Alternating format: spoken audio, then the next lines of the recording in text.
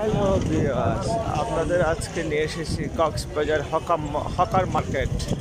এটা হচ্ছে Panbazar road, Cox's Bazar. Panbazar road লেখা থাকলে এখানে কোনো পান বাজার নেই।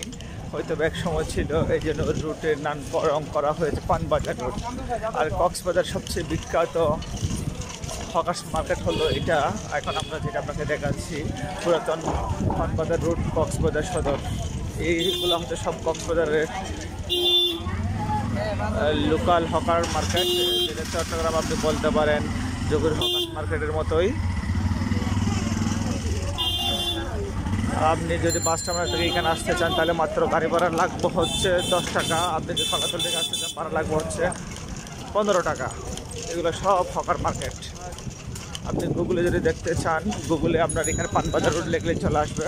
হয়তো শপিং সেন্টারের বিপরীত সাইডে একটা রোড ঢুকে গেছে ওটা। আর যদি আপনি জুয়েলারি কোনো প্রোডাক্ট কিনতে চান জুয়েলারি এখানে সব দোকানগুলো হচ্ছে জুয়েলারির দোকান হকার্সের পরপরই।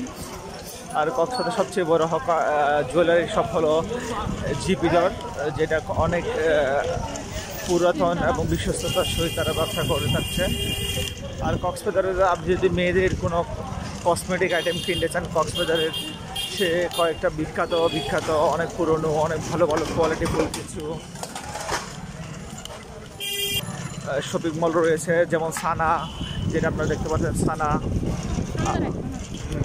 সানা যে কসমেটিক এবং যে ইয়েটা বলেছিলেন মোটামুটি বড়বাজার রোড মার্কেটটার নাম হচ্ছে তোয়াং ফু ক্রু কমপ্লেক্সের দ্বিতীয় তলায়।